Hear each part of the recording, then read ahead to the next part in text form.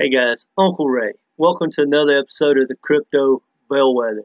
Everyone wants to know why is Bitcoin crashing? That's the wrong question. The question is, has anything changed? And the answer is no.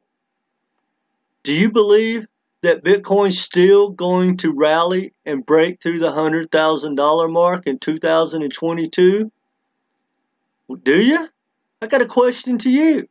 If you believe that, did you stack the Satoshis today? Did you stack the Satoshis? Not final financial advice, but stack those damn Satoshis.